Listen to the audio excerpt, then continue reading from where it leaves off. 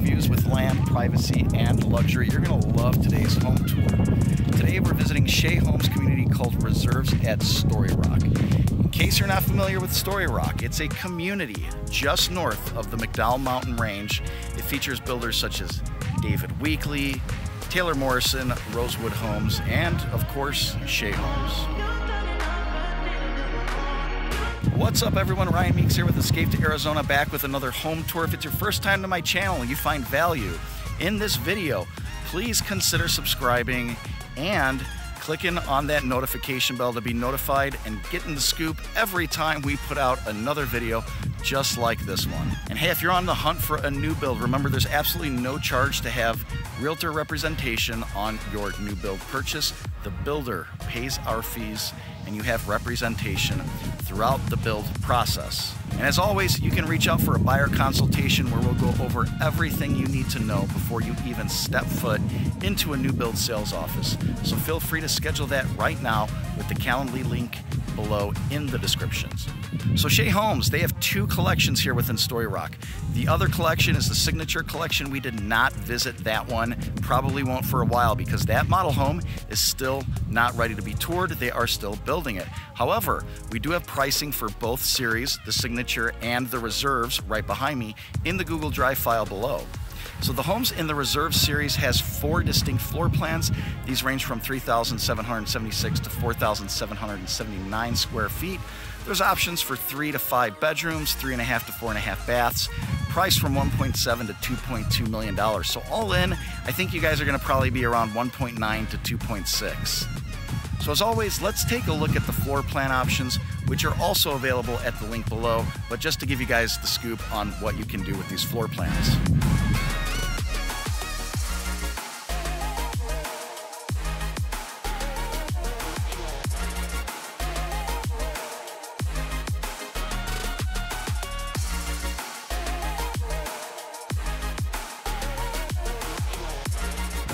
Dokes. Here we are. Obviously, they don't want anybody pulling into the driveway here, but really nice size lot. Huge driveway. There's going to be your garage space right here. Walking on in. Beautiful desert landscaping. You're going to see this in most of the properties here, just kind of like an upscale landscaping with a variety of desert vegetation. So beautiful courtyard coming in right here.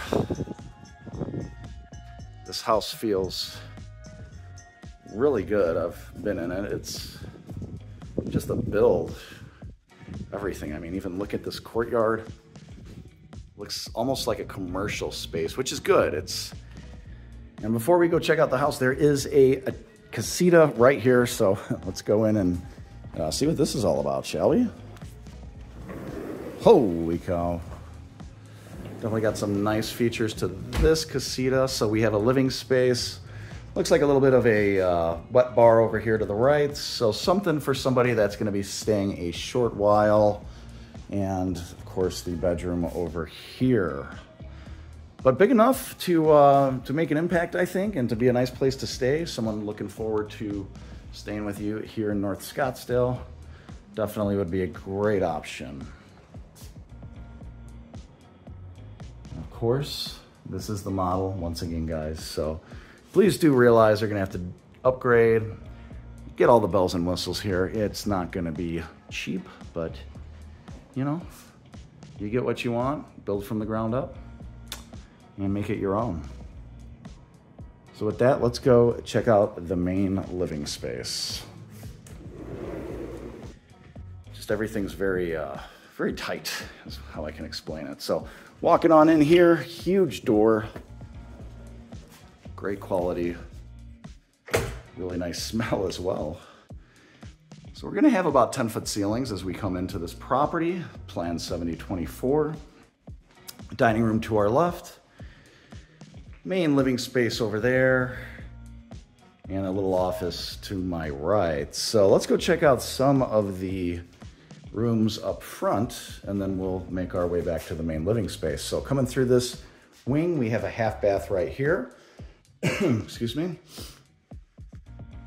Beautifully tiled accent wall behind the mirror. We have a bedroom up front here. which is an ensuite as well. Now this is a really big room. Plenty of space for a guest. As you saw from the floor plan changes, you could definitely switch this up a little bit.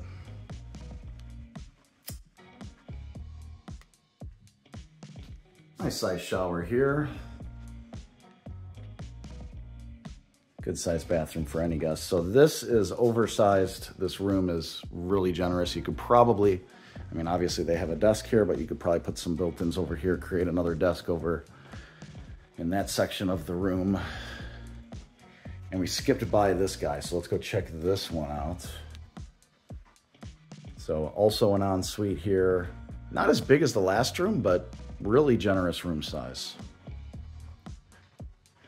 I would not be complaining if I was staying in this room for any duration.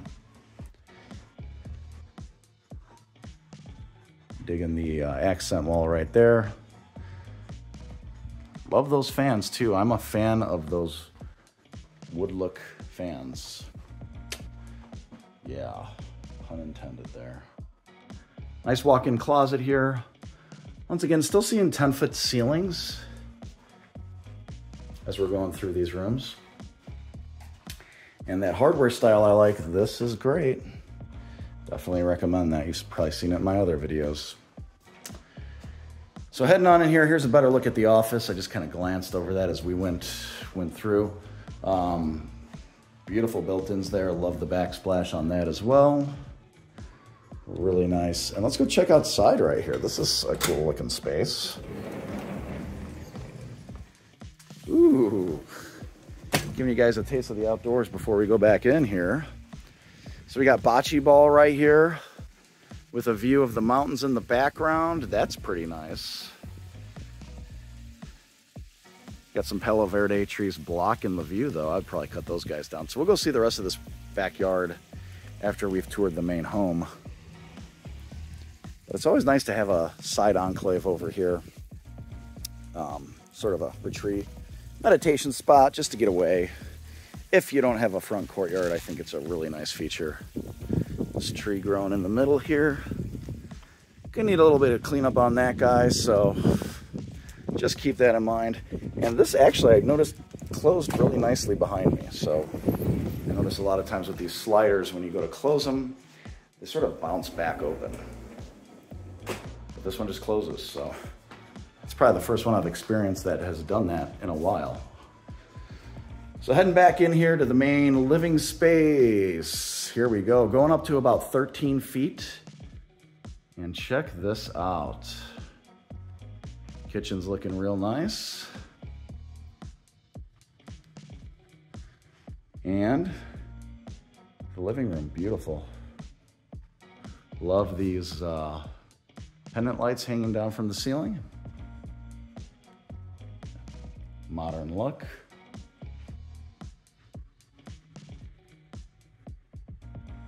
Waterfall edge on this countertop.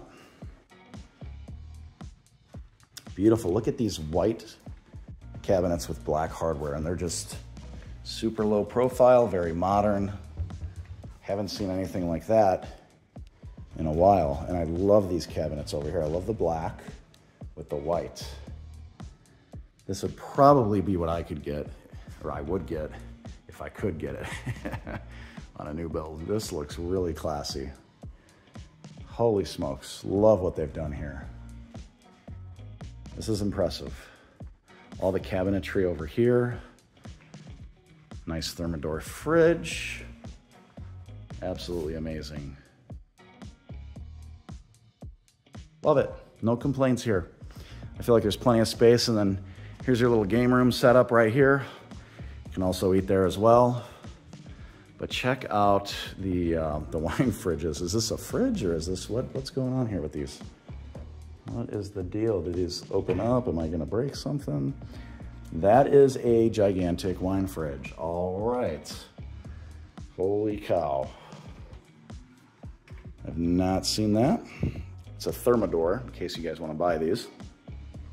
So two Thermador wine coolers there. Wine coolers, fridges, whatever you want to call them. Love the cabinetry. Love everything, guys.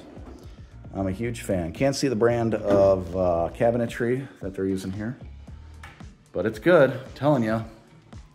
Love these Sputnik lights hanging down from the ceiling.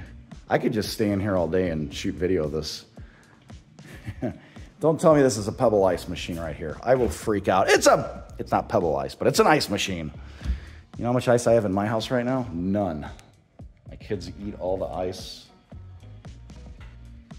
Ugh, it's really annoying, but love these appliances. Thermador, really top of the line stuff here. Let's go, um, we're gonna go to the right over here, see what we're working with. You know what, let's let's head back over here, guys. Let's go, I, I missed a spot up front here. I don't wanna have to come back over here. Not that I would mind, but let's check this out. So right here we have the pantry and look at these built-ins. Now this looks like a fancy closet to a master bedroom. Really, really beautiful. And looking over here, we have the laundry room, which is almost as big as a hobby room with access, of course, to the garage. I love the undermount lighting in the laundry room, especially reflecting off of the white floor tile. Access to the garage here once again. So you can see this modern look with the cabinets. So just to give you guys an idea how that looks. And uh, just a simple granite countertop right here. Or not granite, I'm sorry, quartz. Really beautiful.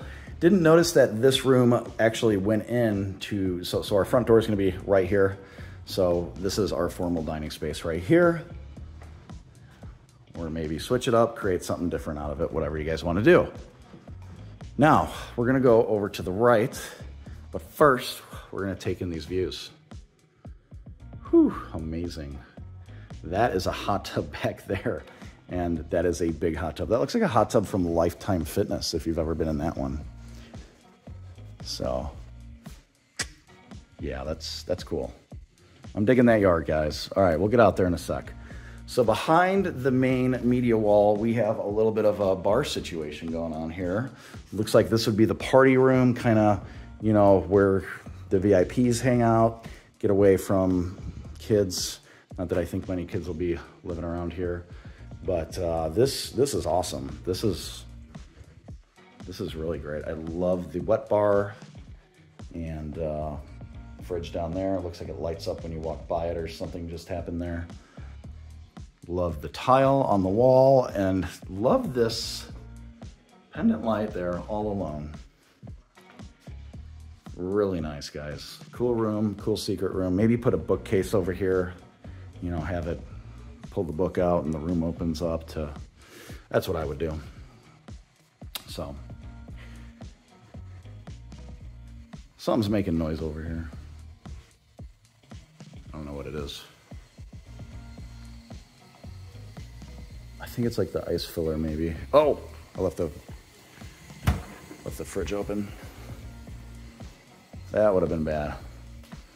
They'd have not allowed me to come back. So love this sconce uh, right as you walk into the master bedroom, accenting that piece of art there. Obviously the uh, beams on the ceiling painted gray. I think that's a really nice look. Good modern take on the whole ceiling beam thing. And check out these lights right here, guys you can move these. So if you wanted to put them back over here, you can do that. It's pretty impressive.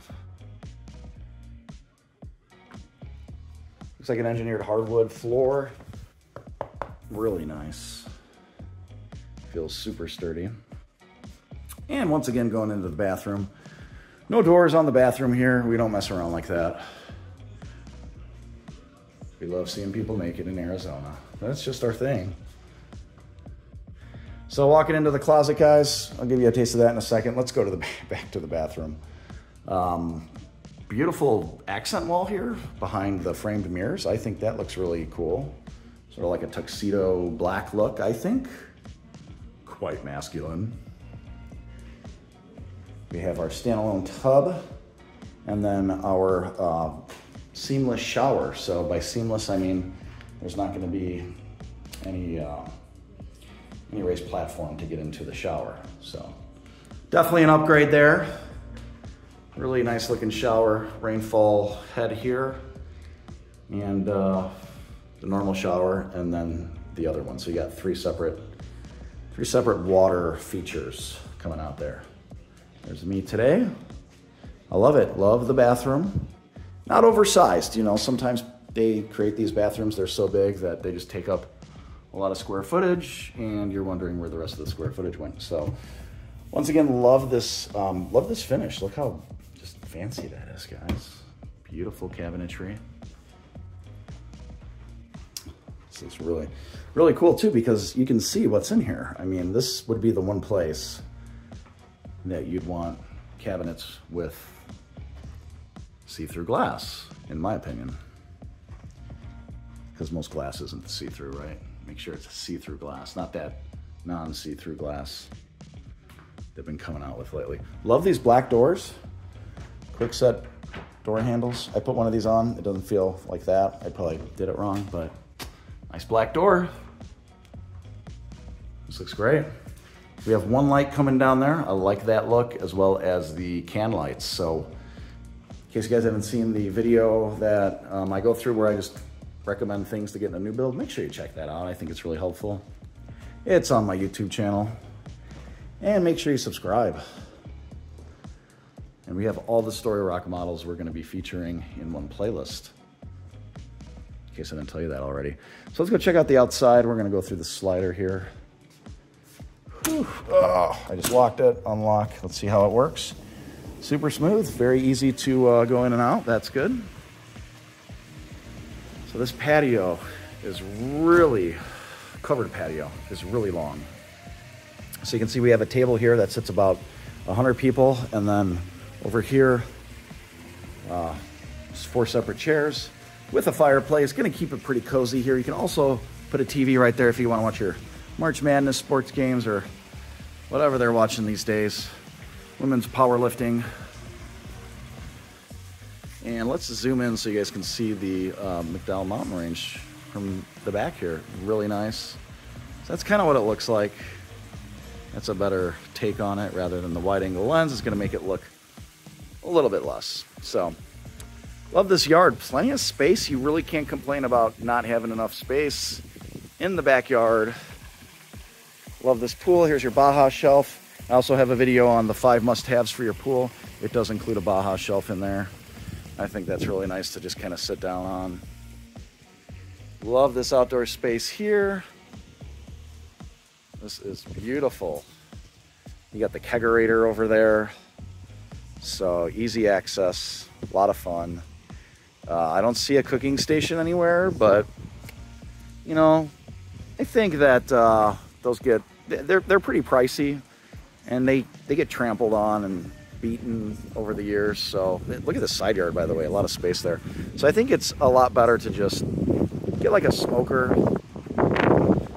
and you know you got to replace it every five years. Just do that. Whatever you guys want to do, I'm on board for it. So here's going to be your hot tub. Check this out. I love this.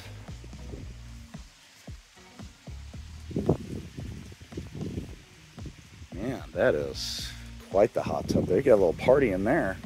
I'm telling you. It's like 12 feet long by maybe four feet. Beautiful infinity edge there as you sit in it. You got your uh, recliners out here. Absolutely gorgeous backyard and then a little sitting space over there with a gas fireplace. That's what's coming out over there, so. Whew. Love this model. Let me know what you guys think about it in the comments.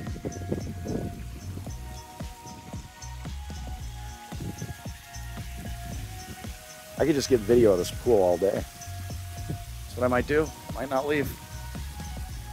Might go swimming. Let's feel how cold it is, slash hot, rather, because it's, oh, it's actually, man, that is, it's a lot cooler than my pool. I had to clean my cartridges, finally did that, and uh, now the aerator is working a little bit better, so I'm thinking it'll cool down.